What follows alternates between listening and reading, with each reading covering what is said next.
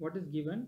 A force of 16 newton is uniformly distributed on a cube of side cube of side 8 centimeters. So cube of side a is 8 centimeter. What is the force on the surface? Suppose if you just look at it suppose this is the cube. Let me draw a cube. When you draw a cube this entire 16 newton force and see inherently what is asked is when it is kept on a surface what is the force? It exerts. When it is kept on this area the bottom area on which the entire force 16 newton acts. So this is 8 centimeter and this is 8 centimeter. So the area of the square base is 16 centimeter 8 into 8 64 centimeter square. So base area base area is 64 centimeter square then we know that pressure is force that means force perpendicular thrust by area. So the force distributed is 16 newton and the area on which it is acting is 64 centimeter square.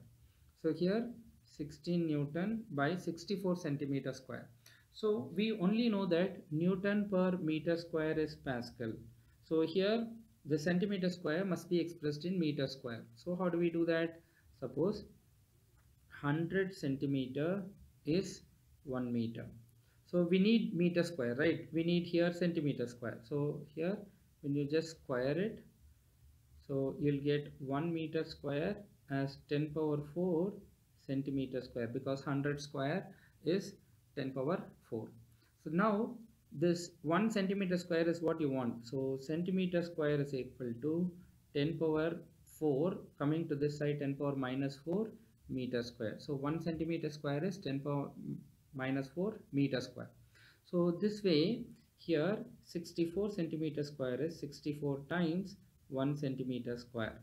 So it is 16 newton by 64 into 1 centimeter square is 10 power minus 4 meter square. So that it becomes 16 newton by 64 into 10 power minus 4 comes to the numerator it becomes 10 power plus 4 meter square. So newton by meter square is pascal. So 16 into 10 power 4 means 16000 pascal by 64 so it is 264s are 128 then remaining uh, it is 128 uh, 130 so 30 32 so 320 so 5 into 64 or 320 so 2500 pascals. So you can use calculator to find out. So it is 2500 pascals.